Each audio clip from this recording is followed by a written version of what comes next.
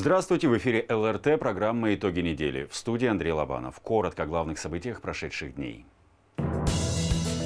Подготовки не требуется, она свежая, новая, и не первый год работаем. Управляющая компания «Самолет-сервис» продемонстрировала свою готовность к зиме. Основная наша тема, тема сейчас, которой мы занимаемся, это консультирование и помощь семьям мобилизованных. В Доме офицеров работает Центр поддержки семей мобилизованных. Это очень важно. Верующий человек, и хочу чаще сюда приходить, если знать, по каким часам работает. В Машкове осветили храм Георгия Победоносца. Я приехала на выставку преподавателя. Это преподаватель живописи. Мне очень нравится. Я в восторге. Выставка «Пути творчества» проходит в музее на выставочном комплексе «Люберец».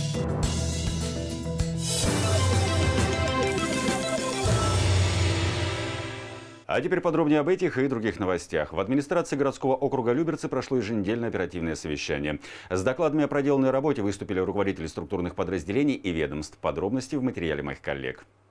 2400 обращений поступило в Межмуниципальное управление МВД России Люберецкое на прошлой неделе. В период с 17 по 23 октября возбуждено 23 уголовных дела. 18 преступлений сотрудники правоохранительных органов раскрыли по горячим следам. Также было 180 ДТП с четырьмя пострадавшими. Больше никаких резонансных преступлений не было. Без серьезных происшествий прошла неделя и у люберецких спасателей. На территории городского округа произошло три пожара. Во всех случаях загорелись автомобили, пострадавших нет. 20 октября в 16 часов 35 минут Люберец, улица Попова, дома 2046, обгорел автомобиль Volkswagen Polo по всей площади, без пострадавших. 21 октября в 13 часов 28 минут поселок Октябрьск, улица Школьная, у дома 2, также обгорел автомобиль «Кадиллак». И 23 октября в 2 часа 58 минут поселок Краскова, улица Карла Маркса, у дома 117, 19, обгорела прицеп фура. Служба ЖКХ функционировала в штатном режиме. Аварийных ситуаций на прошлой неделе не произошло. В округе идет плановая работа по замене лифтов в МКД. 37 подъемников из 39 уже установлены. А также в городском округе Люберцы продолжается реализация краткосрочного плана по капитальному ремонту многоквартирных домов. Всего на 2022 год у нас запланировано отремонтировать 135 домов. Выполнен ремонт уже в 93 и 41 дом находится в работе. По таким видам работ, как ремонт фасадов, ремонт балконов, ремонт кровель, замена домовых инженерных систем, ремонт отмосток и сюда же входит замена лифтового оборудования. В плановом режиме работает управление благоустройства и дорожного хозяйства. За неделю с дворовых и общественных территорий городского округа вывезено 670 кубометров мусора, а с региональных и муниципальных дорог более 500 кубических метров. Свои отчеты представили также сотрудники парков, спорткомитета и управления территориальной политики социальных коммуникаций. Луиза Игязарян, Денис Заугольников, телеканал ЛРТ. В округе продолжается проверка управляющих компаний на готовность к зимнему периоду. На этот раз посетили пик комфорт. Подробности в нашем сюжете. Трактора, лопаты и ломы. Вся снегоуборочная техника и инвентарь готовы к предстоящим холодам. Но чистота и порядок невозможны без людей. Поэтому ежедневно во дворах домов будут трудиться 59 дворников. На случай обильных снегопадов дополнительно выйдут еще 10 человек. Подготовку к зимнему сезону управляющая компания начала заранее. Заранее мы заказали, закупили реагенты, теплую одежду для дворников. Э, тут же дополнительный персонал мы набираем. У нас уже есть кандидаты, которые с 1 ноября к нам выйдут, поэтому подготовку начали заранее, не ждали снегопадов. Уже есть 19 тонн реагентов, придет еще 20. Также с 1 ноября появится два новых бобкэта. Оценить степень готовности управляющей компании к зиме приехал Владимир Ружицкий. Наша задача как бы нацелить управляющие компании на обильные снегопады. Мы будем работать совместно с управляющими компаниями, с нашими жителями, а, есть очень активные жители, которые вовремя нам сигнализируют, дабы поправить ситуацию. Будем надеяться, что зиму пройдем без эксцесса. Во время сильных снегопадов компания также планирует привлекать дополнительную технику. В обслуживании «Пик Комфорт» 59 многоквартирных домов в районе Красной Горки. Мария Антонова, Сергей Гвоздев, телеканал ЛРТ. Управляющая компания «Самолет-сервис» к зиме готова. Состояние техники и личного состава проверено в ходе смотра. Предприятие проинспектировал глава округа Владимир Волков. Управляющая компания «Самолет-сервис» обслуживает одноименный жилой комплекс, расположенный в микрорайоне Зенина. На балансе 60 многоквартирных домов. Общая площадь 859 тысяч квадратных метров. У нас порядка 80 сотрудников задействовано на уборку в зимний период.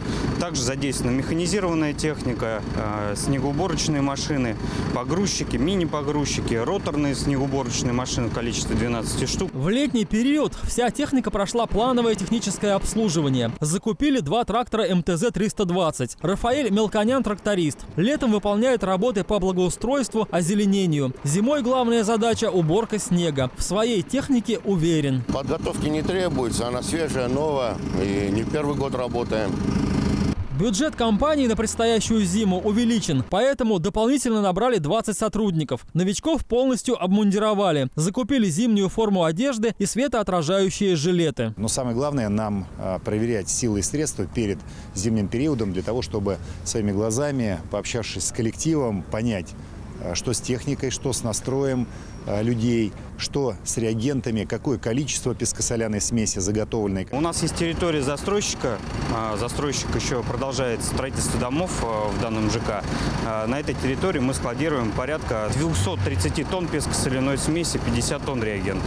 Владимир Волков осмотрел технику, пообщался с коллективом и выразил уверенность, что зимний период компания пройдет достойно. Также он порекомендовал коммунальщикам своевременно реагировать на просьбы и вопросы жителей. Алексей Абрамов, Денис Заугов треугольников, телеканал ЛРТ. В округе состоялась очередная встреча с жителями. На ней люберчане задавали вопросы руководству муниципалитета, представителям управляющих компаний, ресурсоснабжающих организаций и правоохранительных органов. Об итогах расскажут мои коллеги. В Люберцах создана инициативная группа, которая будет собирать гуманитарную помощь мобилизованным и адресно ее доставлять в учебные части, где люберчане проходят боевую подготовку. О создании группы рассказала Светлана Казакова. Ее муж 8 октября добровольно пошел защищать рубежи Отечества. Он у меня десантник. И, конечно, как только он узнал о мобилизации, он сразу откликнулся, готов защищать Родину, готов помогать нашим солдатам. Сейчас мы собираем информацию, кто где находится, я буду ответственная. А все, что нужно, мы поддержим, мы докупим, мы вместе мы сила, прорвемся. Ирина Кузнецова, участница клуба «Активное долголетие». Чтобы поддержать здоровье и физическую форму, посещает различные занятия. Особенно нравится плавание. Однако оплачивать полную стоимость посещения бассейна ей, как и многим долголетам, не по карману. Мы попросили администрацию, чтобы они а, подняли вопрос о социальной карте, чтобы мы могли а, за свои деньги, но по социальной программе покупать а, например, на месяц абонемент в любой ну, фитнес-клуб. На встрече рассмотрели вопросы ЖКХ и благоустройства, установки светофоров, предоставление жилья очередникам и возможность заниматься спортом на школьных стадионах. По словам начальника управления образования Виктории Бунтиной, в округе с 6 утра до 22 часов для жителей доступны 18 универсальных стадионов. Все обращения зафиксировали и взяли в работу. Богдан Колесников, Денис Заугольников, телеканал ЛРТ. Семьи мобилизованных граждан оказывают всестороннюю поддержку. Чтобы узнать, какие вопросы волнуют родственников призванных жителей городского округа, в Люберецком военкомате организовали с ними встречу. Подробности далее. В актовом зале военного комиссариата собрались жены, родители и дети тех, кого призвали в рамках частичной мобилизации. Здесь не только жители Люберец, но и соседних городских округов. Чтобы не оставить такие семьи один на один со своими проблемами, проводится большая работа. Связь с ними поддерживается как дистанционно, так и очно. На этой встрече обсудили наиболее часто задаваемые вопросы. Все, что связано с детьми, с кружками, с питанием, с э, лечением, абсолютно все вот эти проблемы, просьба говорить для того, чтобы мы выработали все механизмы, и у нас в дальнейшем вот эта система заработала. Нам нужно, чтобы у каждой семьи, у каждого члена семьи не было проблем. Поэтому мы для этого и собрались. Возможность задать вопрос дали всем присутствующим. Каждое обращение зафиксировано в протоколе, и каждую просьбу будут отрабатывать индивидуально. Для удобства семей мобилизованных создан специальный чат, куда они могут обращаться за помощью в любую минуту. Луиза Игиазарян, Денис Заугольников, телеканал ЛРТ. Уже больше недели в Люберцах в Доме офицеров работает Центр поддержки семей мобилизованных люберчан. Здесь консультируют и принимают гуманитарную помощь. С работой центра ознакомился глава округа. Организационные вопросы позади. Центр работает в полную силу. За столами волонтеры, учащиеся и студенты, перед которыми поставлены две задачи. Первая – прием звонков. Основная наша тема, тема сейчас, которой мы занимаемся, это консультирование и помощь семьям мобилизованных. Ну, как правило, там консультационного характера вопросы. Люди задают, спрашивают, мы стараемся а, включаться в каждый отдельно взятый кейс и его решать. Второе направление – прием гуманитарной помощи. Елизавета Лувьина – студентка Люберецкого техникума имени Гагарина. Девушке нравится работать с людьми. Разные вещи всякие, книги приносят, а, разные продукты, много всего. Не с пустыми руками пришел и глава округа Владимир Волков. Он передал несколько пакетов с продуктами.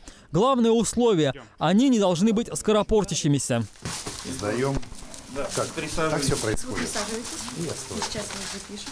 Волонтер записывает данные посетителя и отправляет продукты или вещи на склад. Под него отвели часть помещения. Вера Михайлова, репетитор, пришла, чтобы предложить безвозмездно свои услуги детям из семей мобилизованных.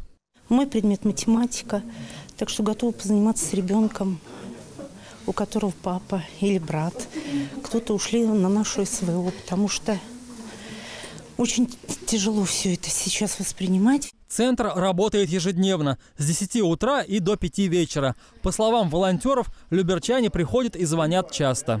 Вопросы а, отрабатываются те, которые связаны с а, детьми, с питанием, с а, выплатами, с э, помощью информационной нужно найти определенного э, призывника, нужно передать какую-то информацию. То есть здесь оказывается поддержка информационная по любому направлению. Очередная партия гуманитарной помощи будет отправлена на областной пункт сбора на этой неделе. Алексей Абрамов, Денис Заугольников, телеканал ЛРТ. Семьям люберчан, мобилизованным для участия в специальной военной операции, оказывается адресная помощь. Работа уже начата.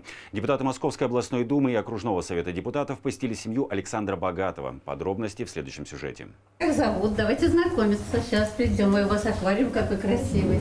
У Александра Богатова трое сыновей. Матвей, Макар и Степан. Младшему три года, старшему одиннадцать. Какой молодец, Макар.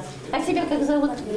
Матвей, ну, Матвей, ты уже взрослый. Ты в каком классе учишься? Уже в пятом. Уже в пятом, молодец. Главу семьи призвали 4 октября. Сейчас находится в Серпухове. По военной специальности он водитель-механик. Я очень просто переживаю и до сих пор переживаю, да, как, как он там будет. А, а так, ну как, я понимаю, что это надо, что mm. это необходимость, да.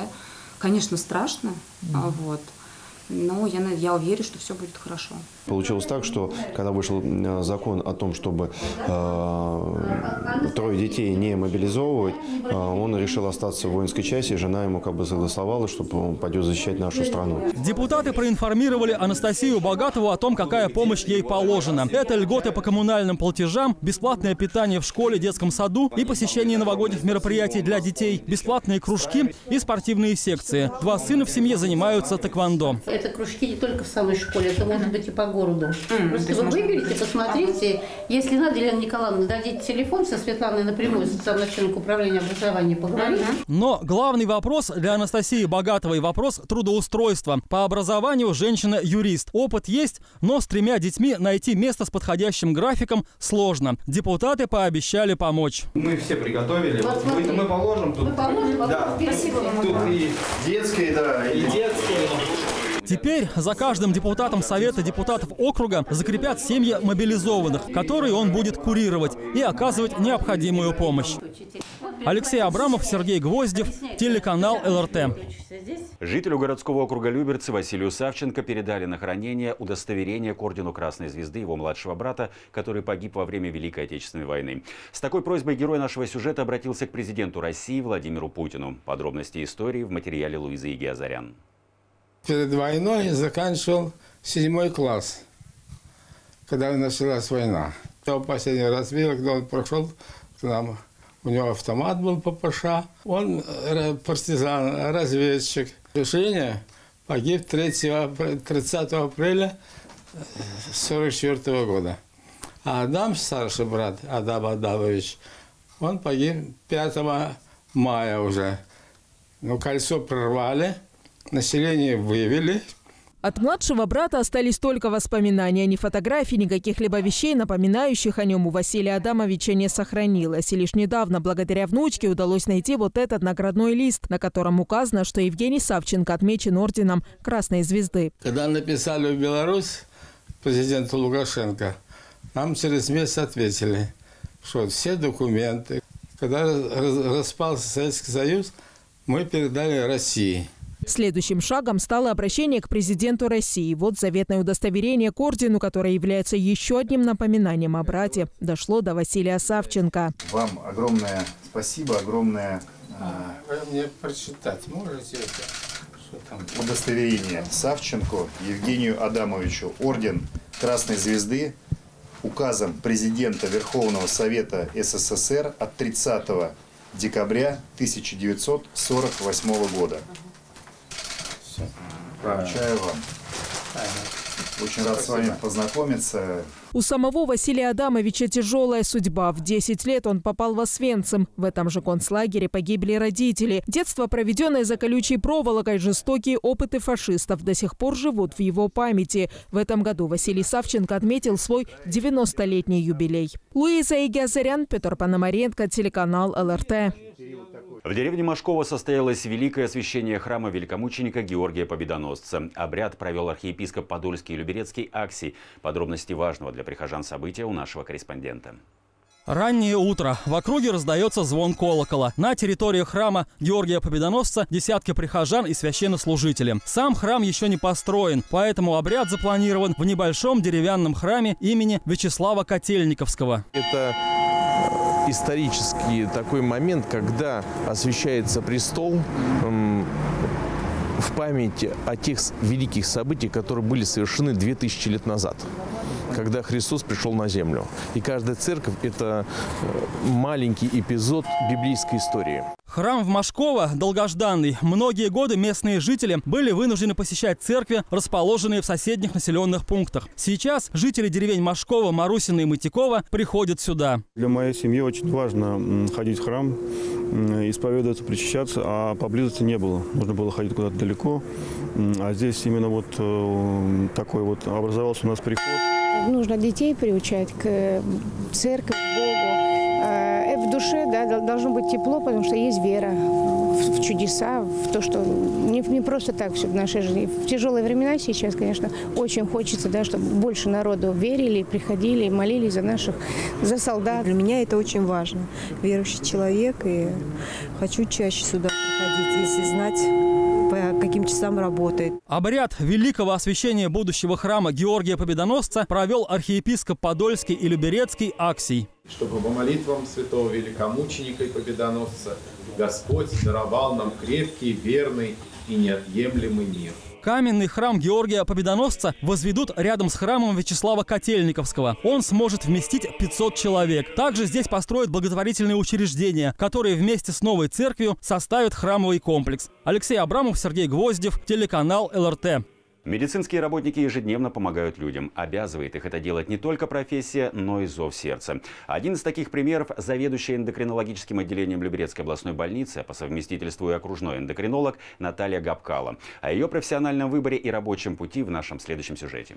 Леночка, готовь инфузию в пятую палату к пациенту. Я сейчас назначение все дам. Ее рабочий день уже долгие годы начинается стандартно. Планерка, сбор данных о состоянии пациентов, их осмотр и назначение дальнейшего лечения. Свою работу люблю за конечный результат. Мы видим, с каким, какой пациент к нам приходит – с декомпенсацией, допустим, сахарного диабета. Почему? Потому что у нас больше пациентов с патологией углеводного обмена и какой он при выписке. Кем стать Наталья Габкала знала еще школьницей. Определиться с профессией помогла мама, которая тоже была медицинским работником. Поэтому после школы Наталья поступает в медицинское училище, заканчивает его и остается там работать. При этом одновременно поступает еще и в институт ради мечты – стать врачом. Ну, тяжело, что делать.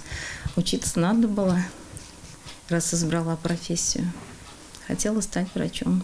В Люберецкую областную больницу она пришла на должность врача-эндокринолога сразу после окончания института. Заведующей стала в 2013 году. Ежегодно через ее отделение проходит около тысячи пациентов. Очень квалифицированный врач.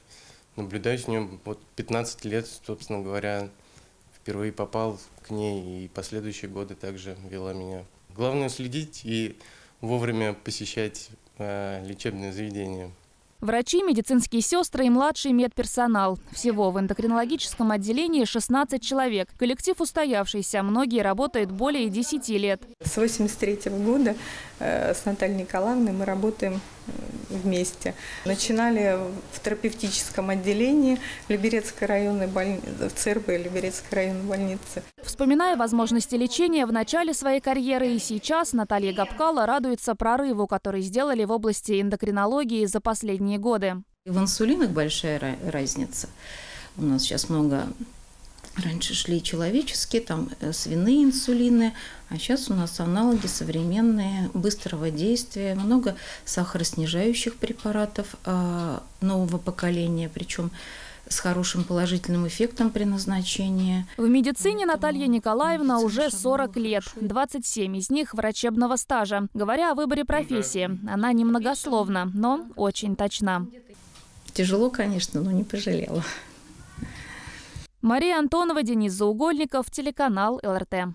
В городском округе Люберцы продолжаются профилактические рейды, направленные на снижение травматизма в зоне движения поездов. Статистика несчастных случаев на железной дороге по-прежнему вызывает тревогу. На днях в Люберцах произошло очередное происшествие.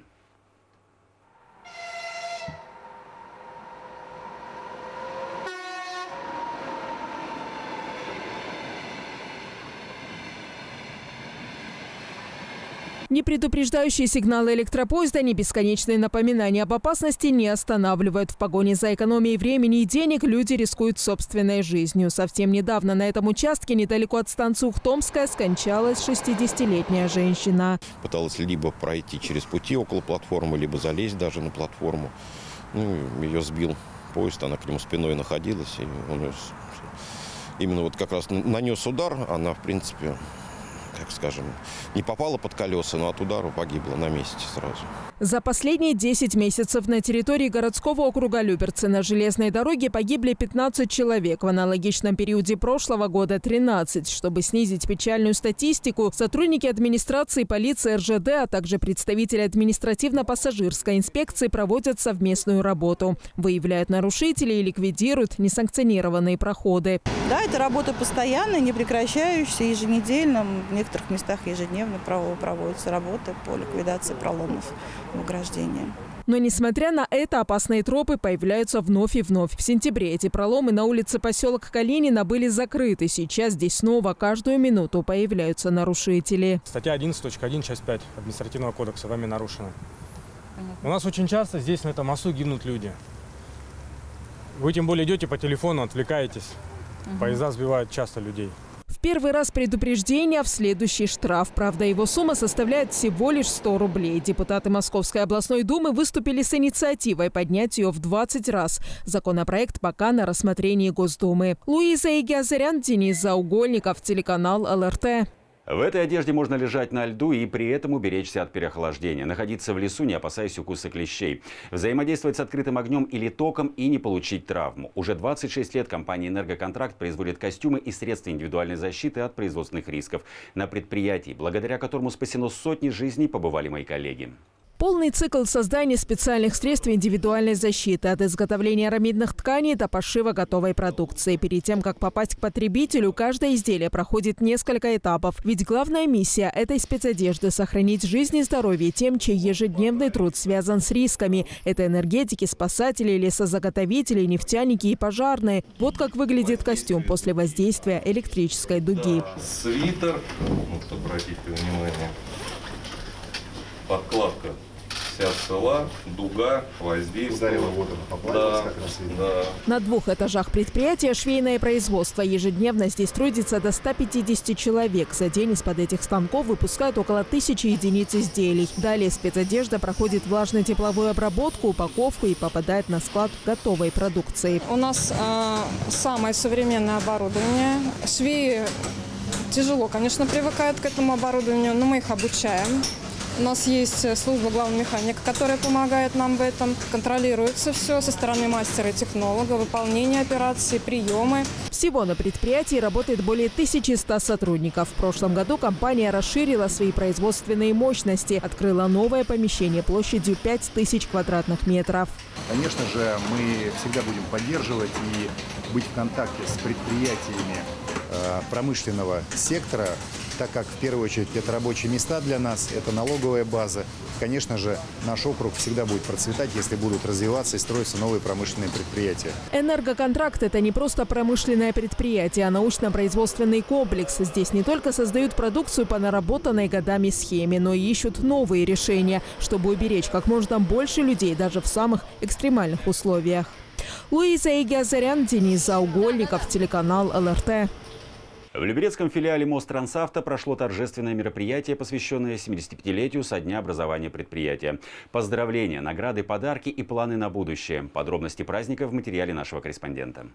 75-летие Люберецкого филиала Мострансавто праздник отложенный. По документам дата наступила еще в мае, но торжества по случаю юбилея перенесли на осень и провели в преддверии профессионального праздника – Дня автомобилиста. Наш коллектив достиг высоких показателей э, в работе. Самое важное, наверное, это то, что э, мы получили новый подвижной состав, и с новым подвижным составом мы будем качественно выполнять пассажирские перевозки по э, нашим городским образованиям, которые обслуживают МАП-1. От администрации округа коллектив поздравил заместитель главы Александр Сорокин, который вручил директору предприятия благодарственное письмо Министерства транспорта и дорожной инфраструктуры Московской области. Разрешите поздравить вас с вашим еще юбилеем 75 лет. Пожелать вам удобных, ровных, чистых, безопасных дорог, вежливых водителей, верных попутчиков, здоровья семьям и мирного неба над головой нам всем. Депутатский корпус представили первый заместитель председателя Совета депутатов Александр Шлопак и депутат Александр Мурашкин, которые вручили грамоты Совета депутатов.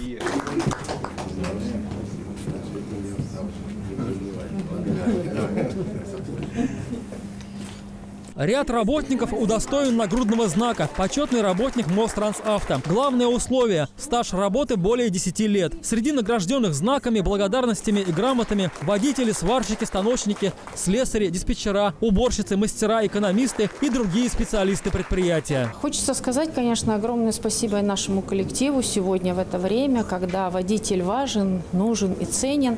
И мы продолжаем э, заниматься набором водителей. Гости юбилея отметили, что успех предприятия – это прежде всего преданность профессии и сплоченность коллектива. Поэтому ему пожелали быть дружным. Также свои награды вручили представители профсоюза работников автотранспорта и дорожного хозяйства Московской области. Алексей Абрамов, Сергей Гвоздев, телеканал ЛРТ. Люберецкая гимназия номер 5 имени Героя Советского Союза Николая Власова отмечает юбилей. Образовательному учреждению 60. На торжестве собрались учителя, ученики и выпускники разных лет. В каждом созвездии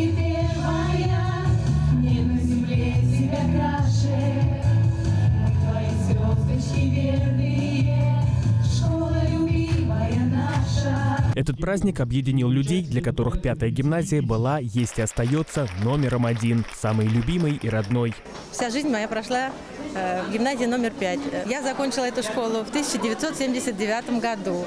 Э, у меня две дочери, которые тоже закончили школу, а сейчас у меня учатся внуки. Всем хочу пожелать здоровья и коллегам, и э, детям.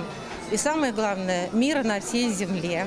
К поздравлениям присоединились ученики. Для многих из них гимназия стала вторым домом. Никогда бы не перешла в другую школу. Вот. Для меня эта школа почти как семья, потому что здесь я нашла своих друзей, которые очень часто меня поддерживают. Простые, душой приветливые учителя, такие, которые, если что, могут объяснить что-то. Я желаю, чтобы, несмотря на все успехи, которые есть сейчас, в дальнейшем все было больше и больше каких-то побед. В адрес коллектива школы прозвучало много теплых слов. Отдельная благодарность ветеранам педагогического труда. Диана Ильина проработала здесь учителем математики почти 50 лет. Приветливые учителя были, очень внимательные ученики, и отношения у нас с учениками было просто превосходно. Школа, она грела, она давала э, и учителям, и ученикам общение, знания, радость. И, конечно, я с удовольствием здесь работала. История школы – это частицы жизни каждого ее ученика и учителя, их общие достижения и победы. Очередной юбилей, по мнению директора гимназии, не просто красивая дата в школьном календаре. Это какой-то определенный этап Э, когда стоит остановиться, оглянуться назад в прошлое, причем оглянуться назад с большой благодарностью тем поколениям, педагогическим коллективам, которые работали здесь. Те люди, которые заложили основу для того, чтобы мы дальше продолжали их традиции. За 60 лет школу окончили 3,5 тысячи выпускников. Сегодня пятая гимназия – это два учебных корпуса, где обучаются 1200 человек, а также дошкольное отделение, которое посещают 970 малышей. Богдан Колесников, Денис Заугольников, телеканал ЛРТ. Детский сад «Звездочка» отметил свое 50-летие. Юбилей дошкольное учреждение отпраздновало с размахом. Гостями праздника стали депутаты Московской областной думы, окружного совета депутатов, а также глава Люберец.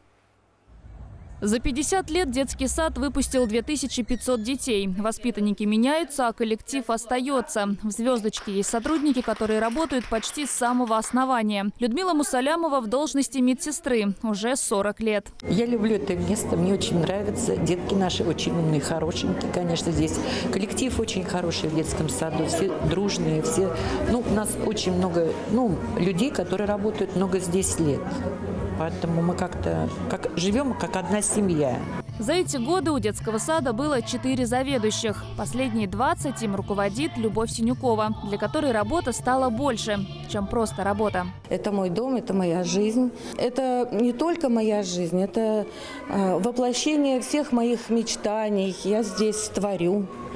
Э, если мне э, кто-то испортил настроение, мои дети, мои воспитанники очень быстро его поднимают.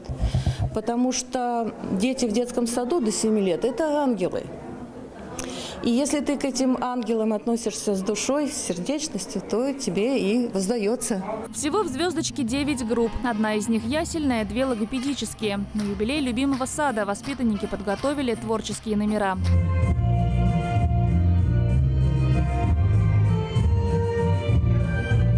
Поздравить коллектив детского сада приехал глава округа Владимир Волков. Там, где действительно отношения как в семье, такого коллектива всегда все получится. Это а, счастье. Родители могут привести, отдать свое чадо и забрать вечером а, счастливого ребенка. Детский сад «Звездочка» был построен в 1972 году для детей военнослужащих и находился на балансе Министерства обороны, а в 2013 он перешел в ведомство муниципалитета. Мария Антонова, Сергей Гвоздев, телеканал ЛРТ. Чем колбаса отличается от рыбы? Что такое монопод, хромакей и удочка? Сколько текстов в день проверяет шеф-редактор телеканала? Об этом и многом другом во время экскурсии на Люберецком районном телевидении узнали ученики седьмого класса. Подробности о визите юных гостей в нашем материале. Сегодня мы вам расскажем, а, как функционирует наш телеканал. На экскурсию пришли ученики медиакласса, поэтому некоторые представления о телевидении у них уже есть. Но это не помешало сотрудникам ЛРТ удивить их и показать что-то новое. Наверное, вот так выглядит рыба. У нас здесь находятся синхроны за кадр, соответственно, начитка корреспондента. Опять идет э, Можно включить, синхрон. наверное, звук даже, чтобы послушать. Да? Работать на телевидении стремятся многие, а оказаться на месте ведущего и вовсе мечта, которую смогли осуществить некоторые из юных гостей. А еще они заглянули в редакцию и монтажную студию, пообщались с редакторами телеканала, побывали там, куда сложно пройти обычному человеку. А это самое сердце телеканала, благодаря которому телезрители видят результат командной работы всех сотрудников Люберецкого районного телевидения. Над одним телевизионным материалом работает целая команда, состоящая из шеф-редактора, корреспондента, телеоператора, монтажера и даже водителя. Результат их работы невозможно увидеть без серверной. Через вот эту серверную проходит сигнал телеканалов э, общероссийского значения э, для городского округа Люберцы и в нашей сетке вещания. Э, в нашей сетке вещания на 25-й кнопке вещает телеканал ЛРД. Он круглосуточный в формате HD. Побывав во всех отделах телеканала, многие успели определиться, в роли кого хотели бы себя попробовать. Сделать старт в профессии всегда легче под присмотром профессионалов. Мы достаточно давно э, работаем на телевидении, и наш канал работает давно, поэтому мы для себя решили, что пора делиться знаниями. Для начала решили э, провести бесплатный мастер-класс, который пройдет 26 ноября в субботу. И мы ждем всех, э, э, кому интересно телевидение, кто хочет погрузиться в этот процесс. Обучение будет включать в себя основы телепроизводства, рекламы, блогинга, техники речи, работы с камерой. Обучать будут не теоретики, а практики с большим багажом опыта. Мне очень сильно интересно и хочется научиться у профессионалов. Мне бы хотелось бы научиться редактировать звук, э, когда снимают. Иногда некоторые звуки мешают, и этому я очень сильно хочу тоже научиться у профессионалов. При предъявлении этой листовки э, дается э, 70% скидка на видеовизитку, потому что видеовизитка на сегодняшний день – это тоже э, очень важный продукт. Если ты хочешь о себе заявить, неважно, в соцсетях, где-то на сайте, даже просто пройти какой-то кастинг, то необходимо иметь видеовизитку. Бесплатный мастер-класс пройдет перед масштабным запуском проекта «Курс юного телевизионщика». Мария Антонова, Сергей Гвоздев, телеканал ЛРТ. В Подмосковье проходит осенний этап Московского областного проекта «Театральный поединок». На сцене Люберецкого дворца культуры встретились театр «Подмастерье» из Подольска и театральный экспресс детской музыкальной школы номер два из Люберец. Мы вас любим! Это последний восьмой поединок, на котором команды поборются за игру в четвертьфинале. Всего в этом году участвуют 32 молодежных коллектива из 29 муниципалитетов Московской области. Городской округ Люберцы в проекте представили театральная студия «Образ» и команда музыкальной школы номер два «Театральный экспресс». Они обожают все эти раунды. Они каждый раз просят, а можно мы сегодня сделаем скульптурный раунд на занятии, а можно мы сегодня предметный раунд поиграем. В общем, дети просто в восторге от всего, что происходит. Они обожают и образовательную программу, программу этого проекта и сами поединки. В театральном экспрессе занимаются 30 детей. На поединок отобрали самых смекалистых. Ян Мельченко и Дарья Ермолаева участвуют в проекте второй раз. У тебя появляются какие-то новые знания. Здесь очень круто. Мне здесь очень нравится. Мне очень нравится участвовать в этом проекте. Ну, здесь очень классная комьюнити вообще. В принципе, здесь очень классно. Каждый раунд состоит из заданий в виде игровой импровизации. Команды состязаются в остроумии, находчивости и непредсказуемости. Во время поединка разыгрывают различные ситуации, многие которых придумывают зрители. Как там красиво! Ты посмотри, эти звезды! А ты назовешь эту планету в честь меня? В одном из раундов зрители и члены жюри увидели телескоп, свечу, танк, штангу и другие предметы, которые показывали конкурсанты, обыгрывая тубус. В другом состязании ребятам предстояло описать предмет, не называя его. По мнению директора проекта «Театральный поединок», конкурсные и образовательные программы, мастер-классы пошли им на пользу то, что мы используем э, при подготовке ребят, да, все эти тренинговые упражнения и вообще сама импровизация, это все полезно для жизни. Выходя на сцену перед зрителем, большим залом, а у вас очень большой зал, конечно, они очень все переживают, волнуются, но вот это волнение, оно как раз э, такое полезное в том плане, что ты э, работаешь с этим волнением, а дальше ты уже спокойно общаешься с любыми людьми, да, любого ранга, любого возраста. В четвертьфинал с небольшим отрывом вырвался театр Подмастерья. Но на этом поединок не заканчивается. Все команды встретятся в финале 3 декабря в Московском губернском театре. Здесь финалисты сразятся за первое место, а также состоится гала-концерт. Богдан Колесников, Сергей Гвоздев, телеканал ЛРТ. В Люберцах открылось второе здание театра «Кукол Радуга» на улице Шоссейная в доме 8. Первое, историческое, находится в Томилине. С какого литературного произведения труппа начала сезон на новой сцене, расскажем в нашем сюжете. В одном департаменте служил один чиновник.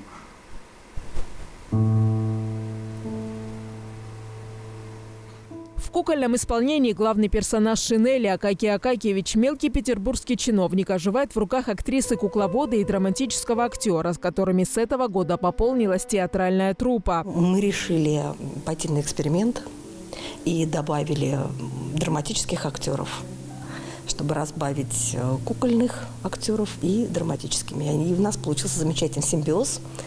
А, ребята обмениваются опытом, кукольники помогают драматическим осваивать куклы, а э, драматические помогают кукольникам подтянуть актерское мастерство. Профессиональное сценическое оборудование для новой сцены приобретено по государственной программе поддержка и техническое оснащение детских кукольных театров. Благодаря этому проекту мы получили федеральные средства, а, купили, закупили оборудование световое и звуковое, а также поставили вот, спектакль «Шанель». В следующем году также мы надеемся и планируем на эти средства закупить уже театральные кресла, продолжение всего зала и оборудование для онлайн-видеосъемки. Спектакль «Шинель» можно увидеть и по Пушкинской карте. Длится он час 15 минут. Рассчитан на возрастную категорию 12+. Всего же в репертуаре театра 17 спектаклей. Луиза Игязарян, Мария Антонова, Денис Заугольников. Телеканал ЛРТ.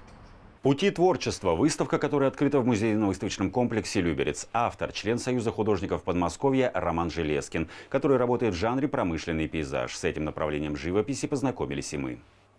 Персональная выставка «Пути творчества» – некий итог работы художника. По словам Романа Желескина, когда проектировал экспозицию, то хотел показать путь, который преодолел. В зале представлено лучшее, что создал за последние 15 лет. Мне когда-то показалось интересным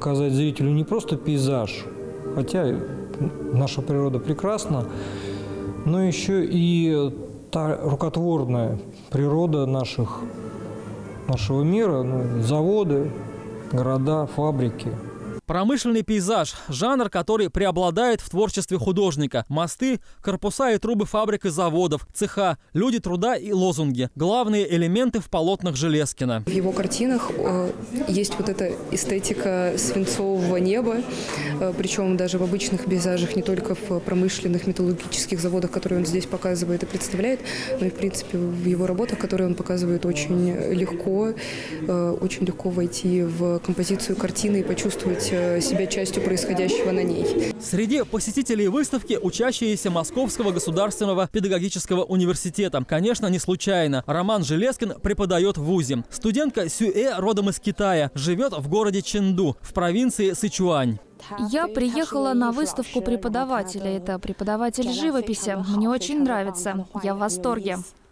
С жанром, в котором будет работать, художник определился после поездки по каналу имени Москвы. Вдохновили промышленные пейзажи малых городов, расположенных вдоль него – Углича, Мышкина, Плеса. Я думаю, это очень хорошая э, выставка. Да, я смотрите, очень красивый пейзаж, и мне очень нравится его э, э, картин. Роман Железкин постарался оформить выставку в едином с точки зрения эмоциональности и цветового оформления стиле, поэтому она может показаться мрачноватой, но по мнению художника, яркость не всегда олицетворяет радость, а темные тона – негатив.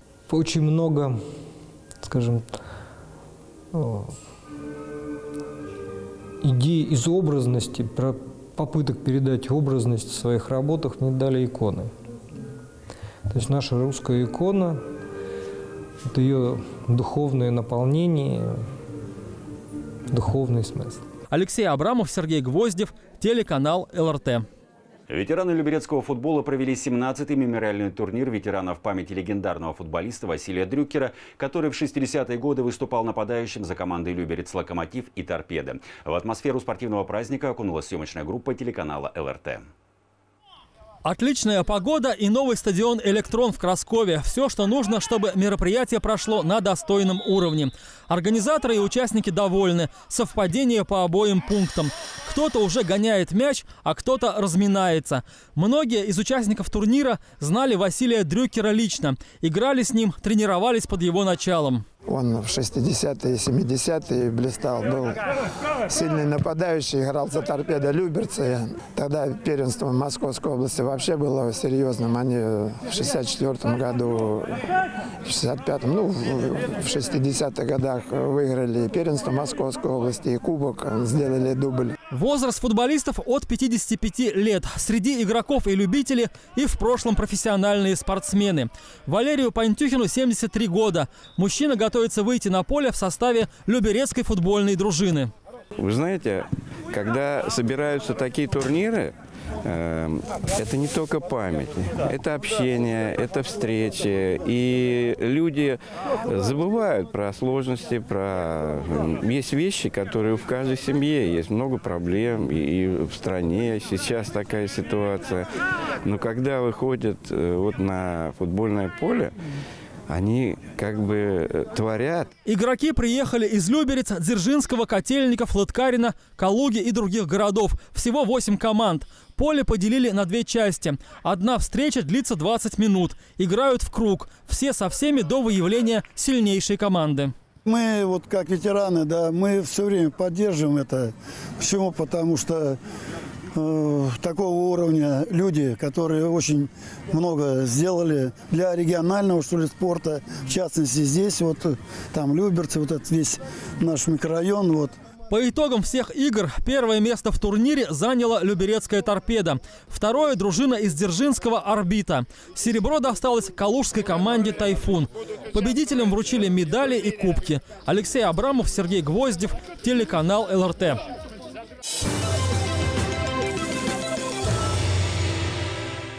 А на этом выпуск завершен. Еще больше подробностей вы сможете найти на нашем сайте lrt.tv или в социальных сетях. До свидания.